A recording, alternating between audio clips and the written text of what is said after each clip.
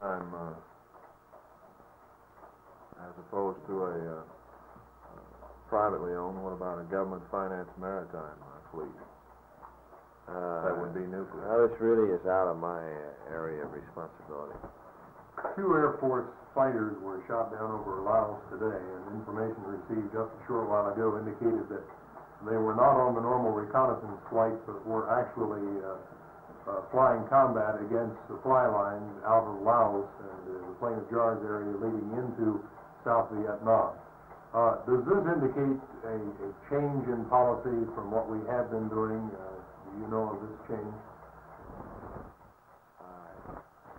I really don't know whether this is a change in policy. uh, To be very honest with you, I'm not sure of how much of this is, uh, I mean, since I'm not, uh, this is the first I've heard of the uh, planes being shot down. But uh, I'm not sure whether it is a change in policy.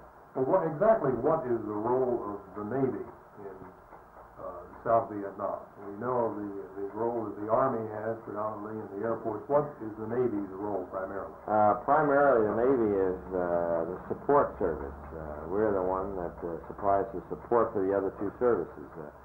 Uh, Now, initially, uh, it was hard to determine how much each service was going to have. Now, of course, it- it's gotten out that the Army uh, has a much bigger role in South Vietnam than the Navy has.